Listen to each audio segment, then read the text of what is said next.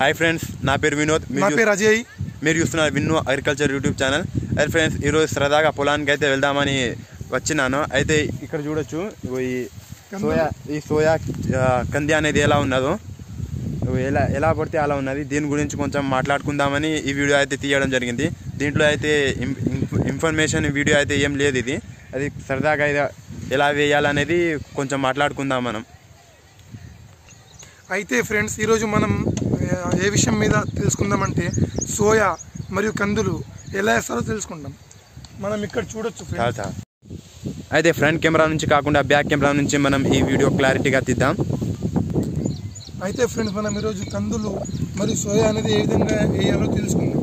ఇక్కడ మీరు చూడొచ్చు ఫ్రెండ్స్ ఈ సోయా మరియు కందులు వేసి ఉన్నాయి. ఇది సరైన విధానం కాదు. దీనికి ఒక నాలుగు లైన్లు సోయా మరియు నాలుగు లైన్ల తర్వాత కందులు అనేది వేస్తారు. పద్ధతి సరైన పద్ధతి కాదు.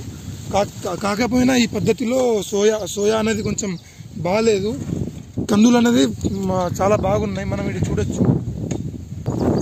అయితే ఫ్రెండ్స్ ఇక్కడ చూసినట్లయితే ఎలా ఉందంటే సోయా సోయా కంది అనేది ఎట్లా పడితే అట్లా చల్లేసినట్లు ఉన్నది. ఇగో ఇక్కడ గడ్డి కూడా చూడొచ్చు మనం. ఇగో ఇది గడ్డి మంద అనేది చిన్న చిన్నప్పటి నుంచి ఇది స్ప్రే చేయలేదు ఇక్కడ మీరు చూడొచ్చు. ఏ విధంగా మనం గడ్డి విపరీతంగా పెరిగింది ఇక్కడ అయితే ఇక సోయా అయితే ఓ లైన్ అయితే లేదండి. ఈ సోయా ఎక్కడ పడితే అక్కడ ఉన్నది. మీరు చూడొచ్చు.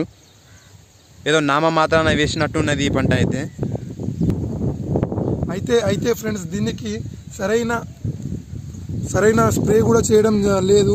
పురుగు స్ప్రే అనేది సరిగ్గా చేయడం చేయలేదు. ఇక్కడ చూడొచ్చు మీరు. ఆకులకు పురుగు అనేది ఏ విధంగా తిన్నదో. మీరు ఇక్కడ చూడొచ్చు ఫ్రెండ్స్ స్ప్రే అనేది చేయలే. గడ్డి మందు అనేది కొట్టలే. ఇక్కడ గడ్డి చూడొచ్చు ఇదిగోండి. స్ప్రే అనేది మనం స్ప్రే చేస్తే ఇలా ఎలాంటి గడ్డి మాత్రం ఉండద్దు.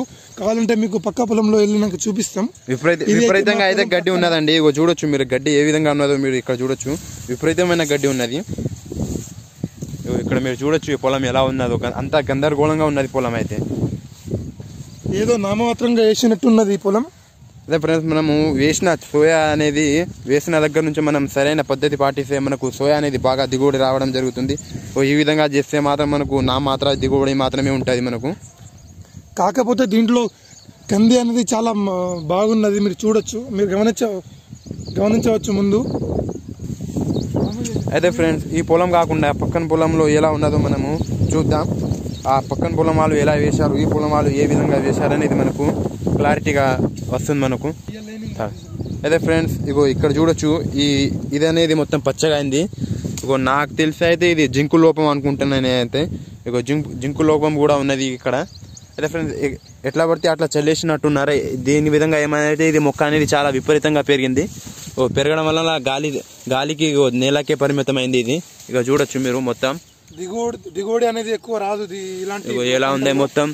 కింద కిందకి దీనికి దీనికి ఒక వర్షం పడితే మొత్తం కింద కింద పండుకుంటది. దిగుబడి అనేది అసలు ఉండదు ఫ్రెండ్స్ దిగుబడి మాత్రం నా మాత్రమే ఉంటుందండి. ఇగో ఇట్లా నేలకే పరిమితం అయితే గాలికి గాలి రావడం వల్ల ఇది నేలకే పరిమితం అయింది. ఇగో చూడొచ్చు. ఇది ఎట్లా? ఒక సీరియల్ లేకుండా వేయడం వల్ల ఎక్కడ పడితే అక్కడ వేయడం వలన ఇగో ఇలా ఈ విధంగా అయితే జరుగుతుంది. ఈ పొలం వచ్చేసి పక్క పొలం అండి. ఇగో ఇక్కడ ఏ విధంగా ఉన్నదో మీరు ఇక్కడ చూడొచ్చు. ఇక్కడ మనకు సీరియల్ అనేది కనబడుతుంది. ఏ విధంగా వేశారో మీరు ఇక్కడ చూడొచ్చు. మరియు ఇక్కడ కూడా గమనించవచ్చు పంట అనేది కింద పండుకోలే వర్ష ప్రవాహం ఎక్కువ లేకుండా. పంట అనేది కూడా ఇక్కడ చాలా బాగుంది మీరు ఇక్కడ చూడొచ్చు ఏ విధంగా ఉన్నదో. ఇది ఇది కాస్త పద్ధతిగా చేసిండ్రు ఇక్కడ మీరు చూడొచ్చు. మరియు దీనికి గడ్డి మందు కూడా స్ప్రే చేయడం జరిగింది. చూ మనం చూడొచ్చు. గడ్డి అనేది అస్సలు లేదు. ఏదో ఒక రెండు శాతం అయితే అది మామూలుగా ఉంటుంది. మనకు కంది అనేది కూడా ఎలా ఉన్నది మీరు చూడొచ్చు. కంది అనేది కూడా సీరియల్ లెక్క ఉన్నది మనకు ఇక్కడ. చూడొచ్చు. కంది కూడా మనకు చాలా బాగుంది ఇక్కడ. దూరం దూరం ఉన్నది. ఇది పెద్ద ఇది ఆరు నెలల పంట అండి. ఇది విపరీతంగా ఇది ఆరు నెలల దాకా మనకు వస్తుంది. దిగుబడి అనేది కూడా ఎక్కువ ఉంటుంది ఇలా పద్ధతిగా వేయడంలో. ఇది వచ్చేసి సోయా అనేది నాలుగు నెలల పంట అండి ఇది. అయితే ఇదే ఫ్రెండ్స్ ఇగో ఈ విషయమే మీకు షేర్ చే షేర్ చేయాలని అనుకుంటున్నా. ఇదే ఏంటంటే పొలానికి వెళ్తుంటే ఇది కనిపించింది నాకు అంత గందరగోళంగా అయితే. ఈ విషయాన్ని మీతో షేర్ చేద్దామని ఈ వీడియో చేయడం జరిగింది. ఓకే ఫ్రెండ్స్ ఈ వీడియో అయితే అంతే. ఇది మీకు ఎక్కువ ఇన్ఫర్మేషన్ ఇవ్వ ఇవ్వకపోయినా అయితే ఈ వీడియో అయితే చేయడం జరిగింది. ఫ్రెండ్స్ మీకు ఇలాంటి మరిన్ని వీడియోలు కావాలంటే విన్నో అగ్రికల్చర్ యూట్యూబ్ ఛానల్ని తప్పకుండా సబ్స్క్రైబ్ చేయండి. మరియు పంటల గురించి మీకు ఎలాంటి ప్రాబ్లమ్స్ ఉన్నా కింద కామెంట్లు మాకు తెలియజేయండి. దానికి మేము ఏదో విధంగా కొంచెం ఇది కాకుండా మీకు చెప్పే తెలుసుకుని అయితే మీకు సమాధానం చెప్పడం తెలియజేయడం జరుగుతుంది. అండ్ ఫ్రెండ్స్ అందరూ కరోనా నుంచి జాగ్రత్తగా ఉండండి. Stay home stay safe